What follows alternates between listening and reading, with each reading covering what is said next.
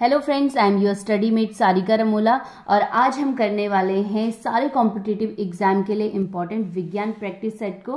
तो फ्रेंड्स इस practice set में मैंने 25 क्वेश्चन बनाए हैं, जो कि बहुत इंपॉर्टेंट हैं और आप लोगों से मेरी रिक्वेस्ट है कि वीडियो को पूरा देखिएगा।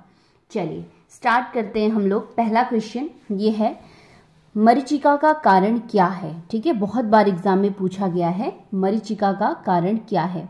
इसमें ऑप्शन है प्रकाश का विपर्तन प्रकाश का व्यतिकरण, तप्त भूमि का परावर्तन, पूर्ण आंतरिक परावर्तन, ठीक है? तो जो मरीचिका होती है, ये एक क्या होती है? प्राकृतिक रूप से होने वाला एक ऑप्टिकल भ्रम होता है। जिससे क्या होता है कि जो प्रकाश की किरणें हैं, वो दूर की वस्तुओं पर यह जो आकाश की एक विस्थापित छवि होती है, उसको उत्पन्न करती है, ठीक है? और उसके लिए वो सीधी झुकती है। जिसका कारण क्या होता है? पूर्ण आंतरिक परावर्तन होता है। तो ये वाली जो घटनाएँ होती हैं मरीचिका की, गर्मियों के टाइम में अगर आप देखेंगे तो रेगिस्तान में ज़्यादा देखने को मिलता है। साथ ही अगर आप हाईवे में और किसी एक स्ट्रेट सड़क पे जाएँगे जहाँ पे सीधी सड़क हो तो आगे आपको ऐसी जो घटना है वो देखने को मिलेगी। ठीक है? तो मरीचिका का जो कारण है वो क्या है? पूर्ण आंतरिक परावर्तन है। चलिए नेक्स्ट क्वेश्चन है विटामिन ई का रासायनिक नाम क्या है? जो विटामिन ई है, इसका रासायनिक नाम बताना है। पहला ऑप्शन है रेटिनॉल दूसरा है पायरिडॉक्सिन तीसरा है टोकोफेरॉल और चौथा है कैल्सीफेरॉल तो इसका जो राइट right आंसर है, वो है टोकोफेरॉल चलिए नेक्स्ट क्वेश्चन है, मनुष्य के आँसू में कौन सा एंजाइम पाया जाता है? एंजाइम की हम बात कर रहे हैं कि जो मनुष्य के आँसू होते हैं, उनमें कौन सा एंजाइम पाया जाता है?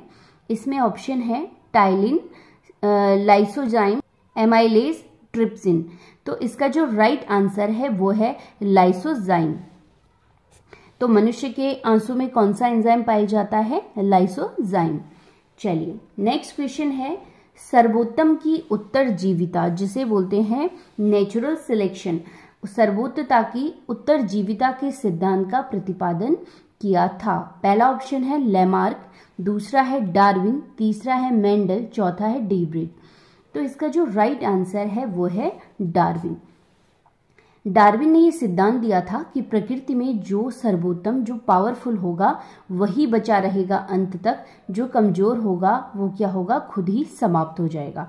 इसके लिए उन्होंने बहुत सारे एग्ज़ाम्पल एग्ज़ाम्पल भी दिए थे प्रूव करने के लिए इस थ्योरी को। तो आपको ये जब क्वेश्चन आता है, और बहुत बारी क्वेश्चन आता है कि सर्वोत्तम की उत्तर जीविता का सिद्धांत किसने दिया था? तो ये किसने दिया था? डार्विन ने। चलिए नेक्स्ट क्वेश्चन देख लेते हैं। हाइड्रोफाइट किन्हें कहते हैं? हाइड्रोफाइट किन्हें कहते हैं? पहला ऑप्शन है जलीय पौधे को, दूसरा है जल रहित पौधे को, तीसरा है जड़ रहित पौधे को, और चौथा है इनमें से सभी। तो इसका जो राइट right आंसर है, वो है जलीय पौधे को, ठीक है? जलीय पौधे को हाइड्रोफाइट कहते हैं और जो जलीय पौधे होते हैं, इनमें जल में रहने की एक विशेष अनुकूलन क्षमता होती है, जिसके कारण ये जल में उत्पन्न होते हैं, ये पेड़ पौधे, ठीक है? जिनको कहते हैं हाइड्रोफाइट नेक्स्ट क्वेश्चन देख लेते हैं। पृथ्वी पर सबसे अधिक मात्रा में कौन सी धातु पाई जाती है? पृथ्वी पर सबसे अधिक मात्रा में कौन सी धातु पाई जाती है? चार ऑप्शन है। एक है एल्युमिनियम, दूसरा आयरन, तीसरा सिलिकॉन और चौथा कैल्शियम। तो इसका जो राइट right आंसर है, वो है एल्यूमिनियम। ठीक है? चलिए नेक्स्ट क्वेश्चन है, बहुत इंपॉर्टेंट है। नेक्स्ट क्वेश्चन है फोटोग्राफिक फ़िल्म पर किस धातु की परत फ़ोटो विकसित करने के लिए किया जाता है? इसमें चार ऑप्शन है। एक है प्लेटिनम दूसरा मैग्नीशियम तीसरा सिल्वर और चौथा है कॉपर तो इसका जो राइट आंसर है वो है सिल्वर ठीक है? जो फोटोग्राफी में फ़ोटो को विकसित किया जाता है जिस धातु की वजह से वो है सिल्वर ब्रोमाइड ठीक है? तो बहुत बार ऐसे ही क्वेश्चन आया रहता है तो आपको आंसर देना है सिल्वर जब सिल्वर ब्रोमाइड पूरा आएगा तो आप उसको बताएँगे सिल्वर ब्रोमाइड यहीं पे मैं आपको एक बहुत इंपॉर्टेंट क्वेश्चन बता देती हूँ। कि जो मतदाता की उंगली में स्याही लगाई जाती है वो होता है सिल्वर नाइट्रेट। Silver nitrate. ठीक है? सिल्वर नाइट्रेट क्या है? स्याही है जिसका प्रयोग मतदाता की उंगली में किया जाता है लगाया जाता है ठीक है? निशान। और दूसरा जो फोटोग्राफी फ़िल्म को आ, फ़ोटो को विकसित करने के लिए किया जाता है वो है सिल्वर ब्रोमाइड। ठीक है? नेक्स्ट क्वेश्चन है, सबसे भारी धातु कौन सी है? सबसे भारी धातु को बताना है। पहला ऑप्शन है लिथियम ओस्मियम लोहा या कॉपर तो इसका राइट right आंसर है ओस्मियम और इसका रासायनिक संकेत होता है ओ एस नेक्स्ट क्वेश्चन है, और ये भी बहुत इंपॉर्टेंट है ब्लैक बॉक्स एक इलेक्ट्रॉनिक उपकरण है जो विमान के पिछले हिस्से में लगा होता है, यह किस रंग का होता है? ठीक है? जो ब्लैक बॉक्स बना होता है हवाई जहाज़ में, वो किस रंग का होता है, ये बताना है। तो इसमें ऑप्शन है ब्लैक सफ़ेद लाल, नारंगी, यानी ऑरेंज ऑरेंज जिसे कहते हैं नारंगी को। तो इसका जो राइट right आंसर होगा, वो क्या होगा? ऑरेंज यानी नारंगी। जो ब्लैक बॉक्स होता है, वो काफ़ी मज़बूत मटेरियल से बनाया होता है, जो कि आसानी से नहीं टूटता है। और जब कोई ऐसी घटना होती है, जैसे प्लेन क्रैश होते हैं तो उसका रीज़न क्या है? वो इसी ब्लैक बॉक्स से पता किया जाता है। जब बाद में उसको ढूंढा जाता है तो रीज़न भी यहीं से पता चलता है। तो इसका कलर कैसा होता है? नारंगी होता है, ठीक है? चलिए नेक्स्ट क्वेश्चन है, सूर्य की ऊर्जा का स्रोत क्या है? जो सूर्य से ऊर्जा प्राप्त हो रही है ऊर्जा जो सूर्य में है, उसका स्रोत क्या है?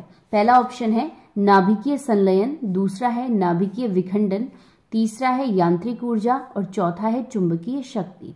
तो इसका जो राइट आंसर है, वो क्या है? नाभिकीय संलयन। बहुत बारी क्वेश्चन आता है और बच्चे ज़्यादातर इसको क्या कर देते हैं? नाभिकीय विखंडन कर देते हैं।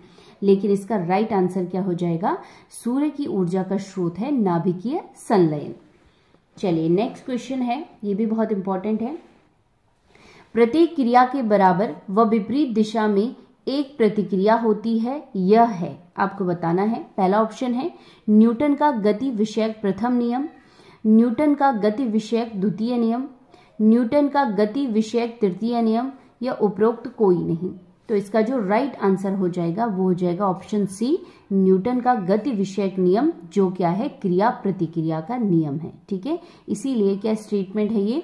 प्रत्येक क्रिया के के बराबर व विपरीत दिशा में एक प्रतिक्रिया होती है। इसे हम क्या कहते हैं? क्रिया प्रतिक्रिया का नियम, जो कि न्यूटन का तृतीय नियम है।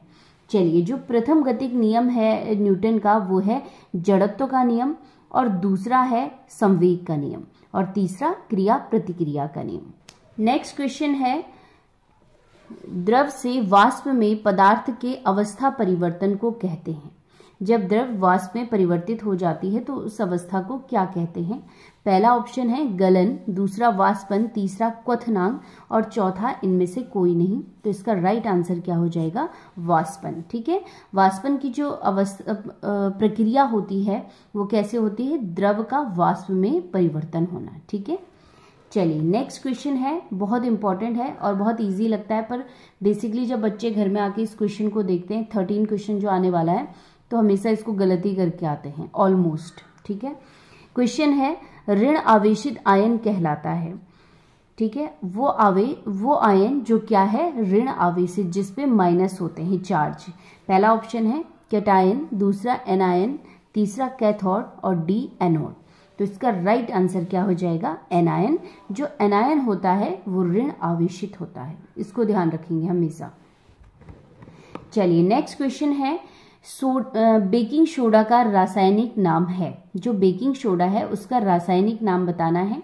बेकिंग सोडा को मीठा सोडा और खाने वाला सोडा भी कहा जाता है। खाने में प्रयोग किया जाता है इसका, ठीक है? इसीलिए क्वेश्चन बार बार पूछा जाता है। और लगभग देखेंगे आप जो क्वेश्चन बनते हैं, जो सामान्य ज़िंदगी में जिनका प्रयोग हो रहा है, वहाँ से क्वेश्चन भी ज़्यादा बनते हैं, ठीक है? तो बेकिंग सोडा जो है, जिसे मीठा सोडा या खाने का सोडा कहा जाता है, उसका रासायनिक नाम पूछा गया है। इसमें ऑप्शन है sodium hydroxide sodium bicarbonate sodium chloride या सिल्वर ब्रोमाइड तो इसका राइट आंसर क्या हो जाएगा? सोडियम बाइकार्बोनेट क्या है? बेकिंग सोडे का रासायनिक नाम है। चलिए नेक्स्ट क्वेश्चन है, अंडे का बाह्य खोल, यानी एग शेल मुख्यतः किसका होता है? किससे बना होता है अंडे का? बाहरी जो कवर होता है किससे बना होता है? पहला ऑप्शन है कैल्शियम कार्बोनेट दूसरा है कैल्शियम बाइकार्बोनेट तीसरा है कैल्शियम फॉस्फेट और चौथा है कैल्शियम क्लोराइड तो इसका जो राइट right आंसर है वो है कैल्शियम कार्बोनेट से बना होता है, ठीक है? चलिए नेक्स्ट क्वेश्चन है जनसंख्या का अध्ययन कहलाता है।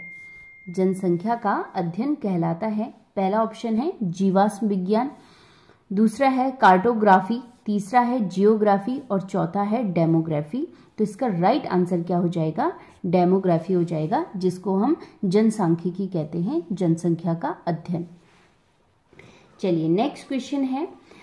अधिकतम पोषण तत्व रक्त में कहाँ से अवशोषित किए जाते हैं? बहुत इंपॉर्टेंट है क्वेश्चन अधिकतम पोषण तत्व रक्त में कहाँ से अवशोषित किए जाते हैं? ऑप्शन है बड़ी आंत, दूसरा ऑप्शन है मुँह, तीसरा है छोटी आंत और चौथा ऑप्शन है गले से। तो इसका जो राइट आंसर होता है वो है छोटी आंत। स्मॉल इंटेस्टाइन से क्या होता है? जो ब्लड होता है, सबसे ज़्यादा पोषक तत्व तो वहीं से अवशोषित करता है। चलिए नेक्स्ट क्वेश्चन है और ये भी करंट का टॉपिक है और इम्पोर्टेंट है, देख लेते हैं। डॉक्टर दिलीप महालनोविश को किसकी खोज के लिए पद्म विभूषण सम्मान 2023 दिया जाएगा? ठीक है? ये यहाँ पे डबल हो गया है। तो किसके लिए उनको 2023 में आज के दिन 26 जनवरी के लिए जो मिल रहा है उनको पद्म विभूषण, दूसरा जो सबसे उच्च सम्मान है हमारे देश का तो वो उनको आज मिलने वाला है। तो किसकी खोज के लिए मिलने वाला है? ये क्वेश्चन है। ठीक है? ऑप्शन है ओआरएस दूसरा है चेचक तीसरा है मलेरिया और चौथा है कोविड टीका। तो इसका राइट आंसर क्या है? ओआरएस की खोज के लिए। वही ओआरएस जो बच्चों को, बड़ों को जब उनकी लूज मोशन की प्रॉब्लम होती है तो बेसिकली तब दिया जाता है या उल्टी में। तो ऐसी कंडीशन में जब बॉडी में पानी की कमी हो जाती है डिहाइड्रेशन हो जाता है तो उस कम, उस कमी को पूरा करने के लिए ओआरएस का घोल दिया जाता है। ठीक है? पानी में मिला के जिसे पिया जाता है। इसी ओआरएस की खोल के खोज के लिए डॉक्टर दिलीप महालोविश को पद्म विभूषण से सम्मानित किया जाएगा। यहीं पे मैं आपको बता दूँ, जो ओआरएस का पूरा नाम है, वो है ओरल रिहाइड्रेशन सोल्यूशन क्या है? ओरल रिहाइड्रेशन सोल्यूशन इसका पूरा नाम है, ठीक है? चलिए नेक्स्ट क्वेश्चन देख लेते हैं। पेप्सिन है एक, ठीक है? नेक्स्ट क्वेश्चन क्या है? पेप्सिन है एक। हार्मोन, विटामिन, एंजाइम और खनिज। तो जो पेप्सिन है, ये एक बहुत इंपॉर्टेंट एंजाइम है, जिसका काम क्या है कि भोजन में जो प्रोटीन होता है, उसको तोड़ने का, यानी उसको पचाने का काम करता है ये एंजाइम ठीक है? और बहुत बार एग्ज़ाम में पूछा जाता है कि पेप्सिन क्या है, ये इसका काम क्या है। तो पेप्सिन एक एंजाइम है, और दूसरा कि जो भोजन में, जो फ़ूड में हमें प्रोटीन रहता है, उसको तोड़ने का, उसको डाइजेस्ट करने का काम होता है इस एंजाइम का। चलिए नेक्स्ट क्वेश्चन देख लेते हैं। मानव शरीर के कौन से अंग का प्रत्यारोपण नहीं किया जा सकता है? यानी हम इसको नहीं बदल सकते हैं ट्रांसप्लांट नहीं कर सकते हैं तो ऐसा कौन सा पार्ट है? ठीक है? चलिए, पहला है ऑप्शन हृदय हार्ट फेफड़े लंग्स किडनी है, और मस्तिष्क, चार इसमें ऑप्शन दिए गए हैं। राइट आंसर आपको बताना है। तो इसका जो राइट आंसर है, वो है मस्तिष्क। बाकी सब ट्रांसप्लांट हो सकते हैं, प्रत्यारोपित हो सकते हैं, लेकिन मस्तिष्क का प्रत्यारोपण नहीं किया जा सकता है। चलिए नेक्स्ट क्वेश्चन देख लेते हैं। भूरा कोयला, यानी ब्राउन कोल जिसे कहते हैं, के नाम से जाना जाता है। भूरे कोयले के नाम से क्या जाना जाता है? ये ऑप्शन में दिए गए हैं, आपको बताने हैं। पहला ऑप्शन है पीट दूसरा है लिग्नाइट तीसरा है बिटुमिनस और चौथा है एंथ्रोसाइड तो इसका राइट आंसर क्या होता है? लिग्नाइट लिग्नाइट को ब्राउन कोल के नाम से भी जाना जाता है। चलिए नेक्स्ट क्वेश्चन है, दलदल में फंसे व्यक्ति को लेट जाने की सलाह दी जाती है क्योंकि अब रीजन बताना है कि ऐसी सलाह क्यों दी जाती है। चार ऑप्शन है हमारे पास। क्षेत्रफल अधिक होने से दाब कम हो जाता है। क्षेत्रफल अधिक होने से दाब अधिक हो जाता है। तीसरा ऑप्शन है, दाव क्षेत्रफल में कोई संबंध नहीं है और चौथा ऑप्शन है उपरोक्त सभी। तो इसका जो राइट आंसर है, वो है ऑप्शन ए क्षेत्रफल अधिक होने से दाब कम हो जाता है, ठीक है? ये अंडरस्टूड है कि जब क्षेत्रफल बढ़ेगा तो उसमें जो प्रेशर लगता है, दाब लगता है, वो कम हो जाता है। और अगर क्षेत्रफल कम होता है तो दाब उसमें अधिक लगता है। ये आपको ध्यान देना होगा। जैसे हम किसी भी कील को दीवार पे लगाते हैं तो जब उसको हम हैमर से लगाते हैं तो ईजिली दीवार में चली जाती है। लेकिन वहीं पे अगर आप मोटी कील को लगाएँगे तो वो आसानी से नहीं जाएगी। क्यों? क्योंकि तब उसका क्षेत्रफल बढ़ गया है, ठीक है? तो दलदल में फंसे व्यक्ति को लेटने की सलाह इसीलिए दी जाती है कि जब क्षेत्रफल अधिक होगा तो दाब कम होने की वजह से वो डूबेगा नहीं दलदल में, ठीक है? चलिए नेक्स्ट क्वेश्चन है। वह वैज्ञानिक जिसने रेडियम की खोज की, बहुत इजी क्वेश्चन है, बहुत बार पूछा जाता है, ठीक है? रेडियम की खोज की। ऑप्शन है आपके पास Franklin madam Curie Irene Curie और जॉन डाल्टन। तो इसका जो राइट right आंसर है, वो है मैडम क्यूरी। मैडम क्यूरी पहली ऐसी वैज्ञानिक हैं जिनको भौतिकी और रसायन विज्ञान दोनों का नोबेल पुरस्कार प्राप्त हो चुका है, ठीक है? ये आप खासियत देखिए मैडम क्यूरी की कि दोनों सब्जेक्ट की ये जानने वाली हैं और दोनों में इनको नोबेल पुरस्कार प्राप्त हुआ है। चलिए नेक्स्ट क्वेश्चन देख लेते हैं। अम्ल वर्षा में साधारणतया निम्न में किसकी अधिकता होती है? ये आपको बताना है। जनरली जो एसिड रेन होती है, उसमें सबसे ज़्यादा किस अम्ल, किस एसिड की प्रधानता होती है? पहला ऑप्शन है कार्बोनिक अम्ल, दूसरा है हाइड्रोक्लोरिक अम्ल, तीसरा है नाइट्रिक अम्ल और चौथा है सल्फ्यूरिक अम्ल। तो इसका राइट आंसर क्या हो जाएगा? सल्फ्यूरिक अम्ल सबसे ज़्यादा जब एसिड रेन होती है उस टाइम पे धरती पर गिरता है, ठीक है? चलिए नेक्स्ट क्वेश्चन देख लेते हैं। एम आर आई बहुत बार आप लोगों ने नाम सुना होगा ये। जब भी कोई चिकित्सीय चिकित्सा का परामर्श लेने डॉक्टर के पास जाते हैं तो इसके चेकअप के लिए बोला जाता है तो आपको बताना है, जो एम आर आई है, इसका पूरा नाम क्या है, ठीक है?